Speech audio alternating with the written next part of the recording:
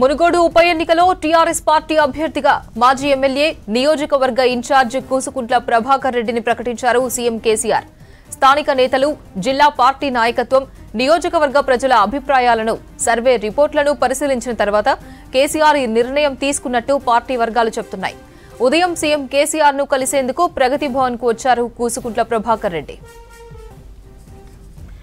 మరోవైపు మునుగోడు అసంతృప్తి నేతలతో పార్టీ వర్కింగ్ ప్రెసిడెంట్ కేటీఆర్ భేటీ అయ్యారు. ప్రగతి భవన్లో జరిగిన కేటీఆర్తో ఉమ్మడి నల్గొండ జిల్లా మంత్రి జగదీష్ రెడ్డి మాజీ ఎంపీ బూర నర్సయ్య గౌడ్ మాజీ ఎమ్మెల్సీ కర్నె ప్రభాకర్ సమావేశమయ్యారు. అభ్యర్థి ప్రకటనకు ముందు టికెట్ ఆశావహులతో భేటీ అయ్యారు. అభ్యర్థి ఎవరైనా సహకరించాలని నేతలకు సూచించారు కేసీఆర్. మునుగోడు ఉప ఎన్నికలో టీఆర్ఎస్ పార్టీ అభ్యర్థిగా మాజీ ఎమ్మెల్యే నియోజకవర్గ ఇన్ఛార్జ్ కూసుకుంట్ల ప్రభాకర్ రెడ్డిని ప్రకటించారు సీఎం కేసీఆర్.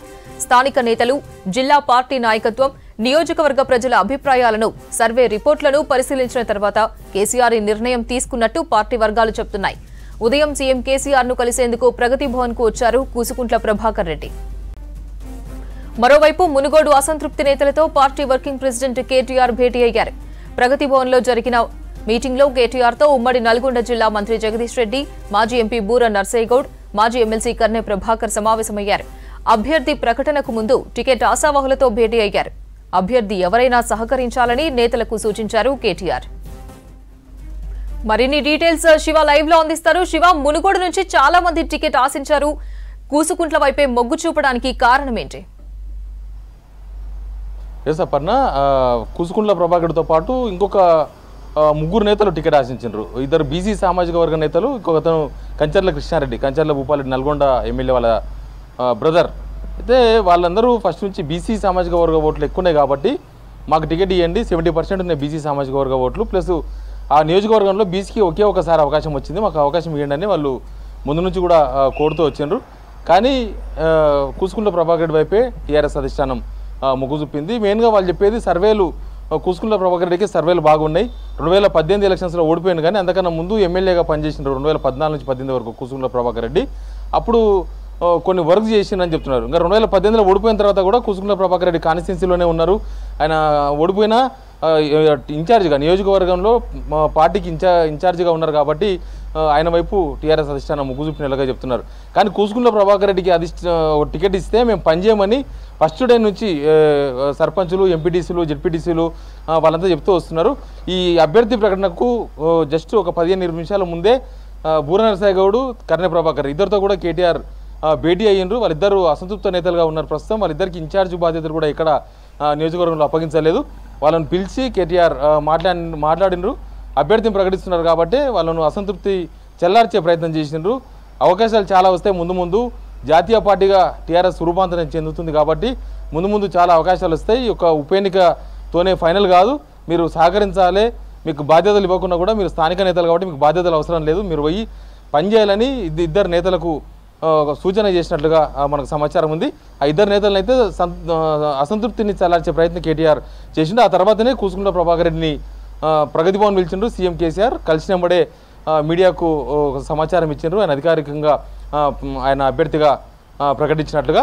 కానీ లాస్ట్ వన్ మంత్ నుంచి మనం చూస్తున్నాం. కూసుకుంట్ల ప్రభాకర్ రెడ్డి అనాధికారికంగా అనధికారికంగా ఆయన అభ్యర్థిగా చాలామంది అవుతున్నారు. స్థానికంగా ఫ్లెక్సీలు ఏర్పాటు చేసిన మీటింగ్లు ఏర్పాటు చేసినా చేర్ చేరికలు ఇవన్నీ కూడా కూసుకున్న ప్రభాకర్ రెడ్డి దగ్గర నుండి జరిపిస్తున్నారు. జగదీష్ రెడ్డి అంతా తానే చూస్తున్నా కూడా ఆయన వెంట అభ్యర్థిగా ప్రకటించకపోయినా సరే ఆయన్నే అన్అఫీషియల్ అభ్యర్థిగా జగదీష్ రెడ్డి వెంట ఉన్నారు. ఇన్ని రోజులు ఆయన్నే ఇప్పుడు అభ్యర్థిగా ప్రకటించారు ముందేమో టీఆర్ఎస్లో ఒక చర్చ జరిగింది అపర్ణ. బీజేపీ కాంగ్రెస్. వీళ్ళిద్దరూ ఏ సామాజిక వర్గానికి టికెట్ ఇస్తారు? దానికి యాంటీ సామాజిక వర్గానికి టీఆర్ఎస్ టికెట్ ఇవ్వాలనే చర్చ ఒకటి జరిగింది. బీజేపీ ఎట్లయినా సరే రాజగోపాల్ రెడ్డి కొమరి రాజగోపాల్ రెడ్డి అభ్యర్థి అది కన్ఫర్మ్. తర్వాత కాంగ్రెస్ టికెట్ ఇవ్వకముందు కాంగ్రెస్ కనుక బీసీకి టికెట్ ఇస్తారేమో కాంగ్రెస్ బీసీ టికెట్ ఇస్తే ఇక్కడ ఓసీకి ఇవ్వాలి రెడ్డికి ఇవ్వాలి ఒకవేళ కాంగ్రెస్ కనుక రెడ్డికి ఇస్తే టీఆర్ఎస్ బీసీకి ఇస్తుంది బీసీ యాంగిల్లో ఒక బీసీ ఒకటే అభ్యర్థుంటారు కాబట్టి అది బాగా వర్కౌట్ అవుతుంది బీసీ ఓట్లు ఎక్కువ ఉన్నాయి కానీ అట్లా కొంత చర్చ జరిగింది. ఆ యాంగిల్లో కూడా ఆ, ఆరా తీసినారు సర్వేలు చేసినారు అన్నీ చేసినారు. కానీ ఫైనల్గా ఏమైందో తెలియదు మళ్ళీ కూసుకుంటే ప్రభాకర్ రెడ్డి వైపే టీఆర్ఎస్ అధిష్టానం మొగ్గుజుప్పింది మొగ్గు చూపింది. అయితే ఇన్ని రోజులు వెయిటింగ్ చేయడానికి కారణం కూడా స్థానికంగా ఉన్న విభేదాలు.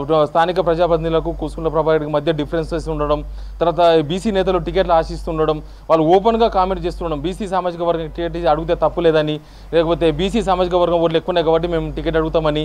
అసలు వాళ్ళిద్దరినీ ఆ లోకల్గా జరిగే కార్యక్రమాలకు కూడా మంత్రి జగదీష్ రెడ్డి పిలవలేదని వాళ్ళు చాలా ఓపెన్గా బయటకు వచ్చి మాట్లాడినారు. అసలు ఆ కార్యక్రమాలకు మనం లేకపోవడంతో మాకు వచ్చే నష్టం కూడా ఏం లేదు. అది పార్టీకే నష్టం అని కూడా పూర్ణశాఖ కూడా ఓపెన్గా మాట్లాడినారు.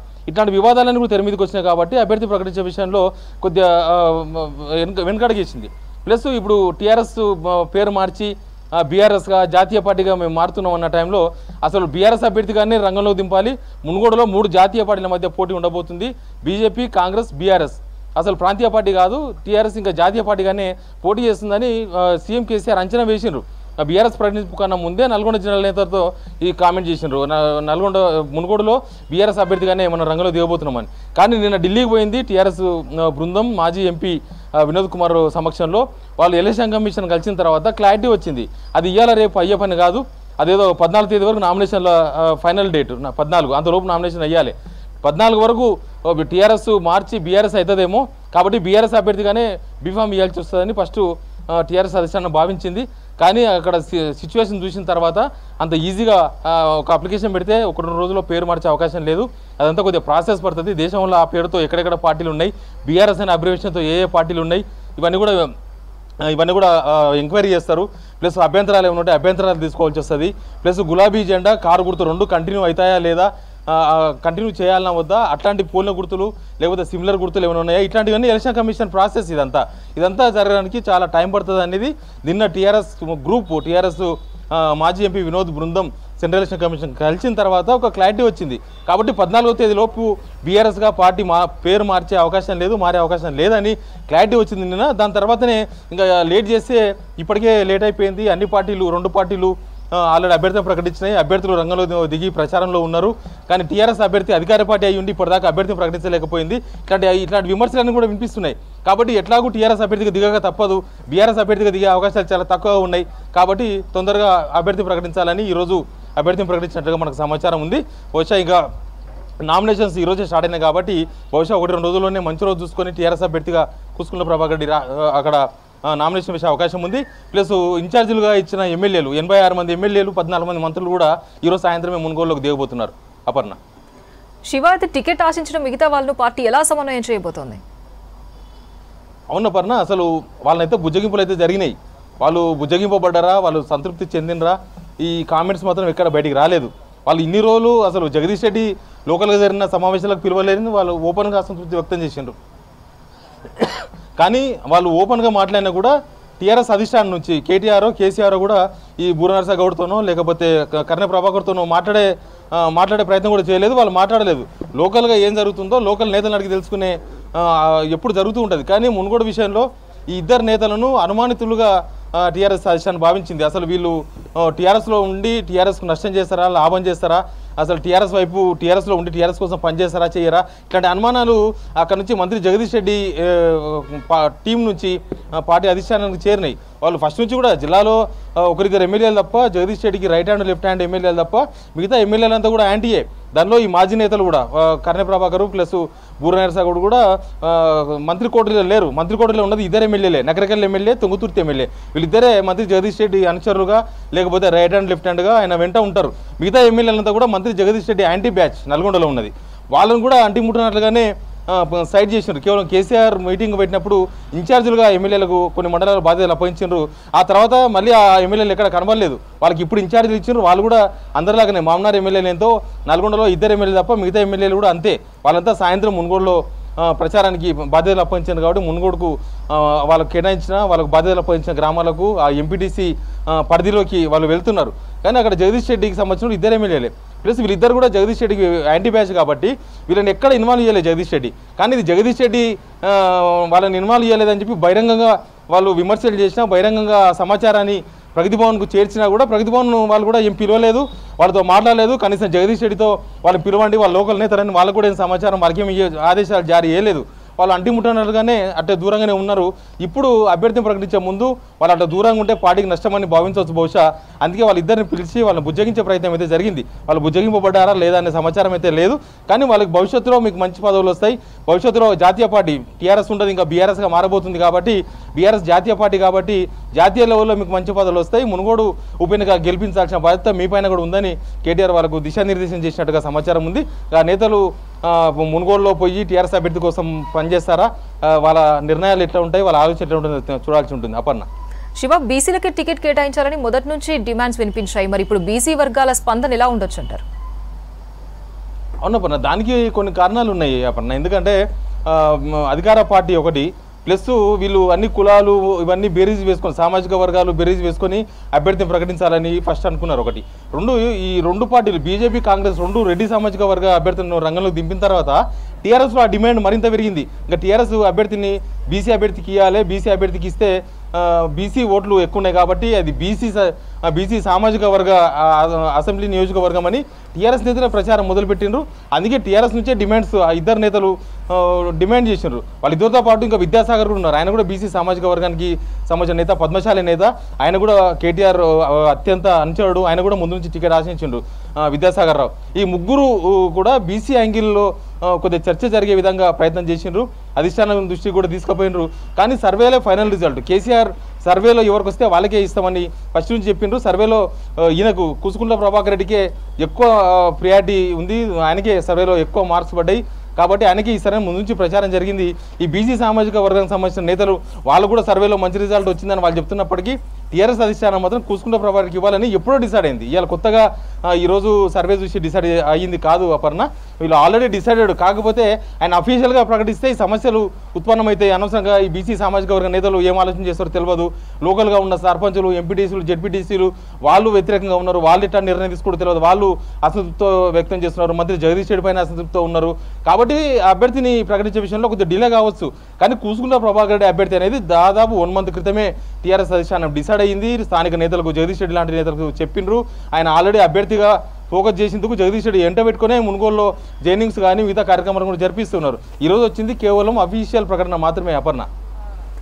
శివ మునుగోడులో గెలవడానికి ఇప్పుడు టీఆర్ఎస్ ముందున్న వ్యూహం ఏంటి? ఎలాంటి వ్యూహాలు చేయబోతోంది? అంటే ముందు అసలు దుబ్బాక ఎలక్షన్ తర్వాత హుజురాబాద్ ఎలక్షన్. ఈ రెండు ఉప ఎన్నికలు ఎట్లా ఆ, వ్యవహరించింది దానికి భిన్నంగా వ్యవహరించాలనేది ముందు టీఆర్ఎస్ అధిష్టానం ఒక వ్యూహంగా ఉన్నది. అంటే హడావిడి ఎక్కువ చేయొద్దు చాలా తక్కువ హడావిడి చేయాలి. అనవసరంగా హుజరాబాద్లో హడావిడి చేయడంతో ప్రత్యర్థికి లాభమైంది. సేమ్ మునుగోడులో కూడా అట్లా కావద్దని ఫస్ట్ అనుకున్నారు. కానీ ఇక్కడ అభ్యర్థులను ప్రకటించి బీజేపీ కాంగ్రెస్ ఫీల్డ్లో దిగిన తర్వాత రోజు రోజు మారుతున్న పరిస్థితులు తర్వాత వస్తున్న సర్వే రిపోర్ట్లు ఇవన్నీ చూసిన తర్వాత టీఆర్ఎస్ మామూలు హడావిడి కాదు అపర్ణ. ఎప్పుడైనా సరే ఉప ఎన్నిక వస్తే ఏ కేటీఆర్కో ఏ హరీష్ రావుకో బాధ్యతలు అప్పగిస్తారు. వాళ్ళే కొంతమంది ఎమ్మెల్యేలను చూసుకుంటారు. ఆ ఎమ్మెల్యేలు పోయి కాన్స్టిట్యున్సీలో మకాం వేస్తారు. ఇదంతా రెగ్యులర్గా జరిగే ప్రాసెసే. కానీ మునుగోడు ఉప ఎన్నికకు ఇద్దరు ఇన్ఛార్జీలు వేసినారు మంత్రి కేటీఆర్ మంత్రి హరీష్ రావు.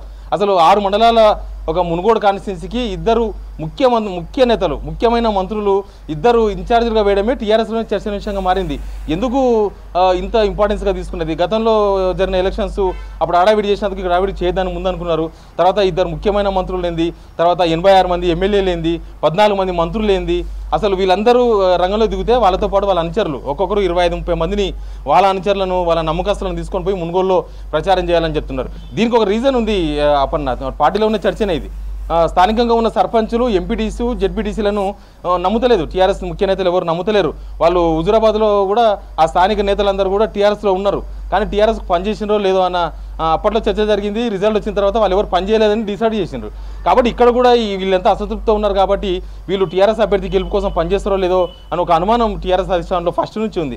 కాబట్టి ఇట్లా కాదు బయట నుంచి తీసుకుపోయిన నేతలతోనే ఈ ఓటర్లను ఓటర్లను టచ్ చేసే ప్రయత్నం చేయాలని ఆ, ప్లాన్లో భాగంగా ఎనభై ఆరు మంది ఎమ్మెల్యేలకు పద్నాలుగు మంది మంత్రులకు అందులో కేటీఆర్ హరీష్ రావు ఇద్దరు ఇన్ఛార్జీలు ముఖ్యమైన మంత్రులకు ఇన్ఛార్జీలు ఇచ్చిండ్రు.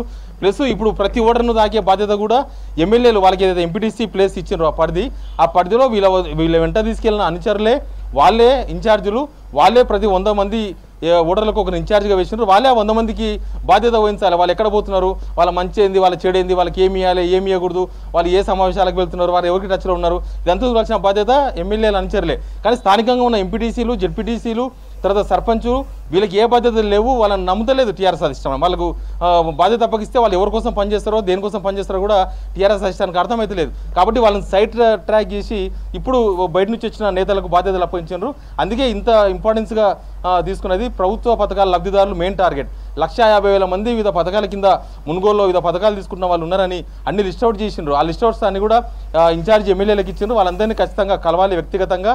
ప్రభుత్వం నుంచి వాళ్ళకి ఏం స్కీమ్స్కి వస్తున్నాయి ఎంత ఎన్ని డబ్బులు చేరినాయి ఏ స్కీమ్స్ రీచ్ అయినాయి ఇవన్నీ కూడా ఎక్స్ప్లెయిన్ చేయాలి.